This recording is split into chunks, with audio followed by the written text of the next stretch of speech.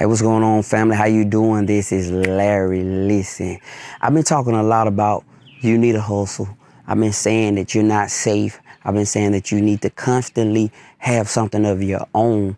And the reason behind it is because as you look into society right now, you look in the world we in today, not the world you want you you want to see. You see uncertainty. Um, career fields are being offshored.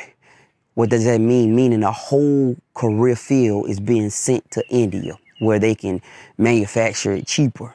Um, the cars that used to be manufactured in Detroit are now being made elsewhere, if made at all. So what are you going to see over time? There's a lot of the things that we hold prevalent and true now are going away. I'm gonna use this as an example. Go to Walmart. When you go to Walmart, you go to Kroger, they have what they call self-checkout machines now. So what they're doing is they're physically training us, the customer, to work for the store for free. And that machine now replaces an individual. So now what you see, you'll see 10 people, you'll see, I'm sorry, you'll see 10 machines being ran by one person. So those were jobs 10 years ago. As you, as time go on, you're going to see that more and more. I was reading an article the other day in the BBC about the hamburger flipping robot. So a lot of these jobs that we were able to go get when times got hard. You know, if you fall down, you always can go work at the Walmart. You can go work at the Kroger. They are going away, guys. They're going away. So for you and I, especially those guys are right around my age, the younger people, I think you may be okay because you're going to have time to weather the storm and grow and learn. But the people who are in your 40s and your 50s, you guys need to get this now.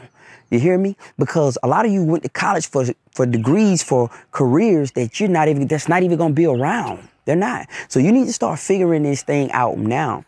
You may not be a social media person, you know? I'm just being honest with you. I'm a firm believer that you cannot generate need, you can generate awareness. So if you have a business, you can make everyone aware about what you do and how you do it. That's free marketing. You could just get on your social media page and do it, right? But whatever your deal may be, you need to find you something because a lot of us are going to be in bad shape. We really are. And the reason why is because we there's not going to be a McDonald's. There's not going to be a Kroger job we can go to work at. So listen, today you need a hustle. You need something. You hear me? Hey, this is Larry, man. Let me let the man out here with his weedy to go. I'm going to talk to you guys later. Peace.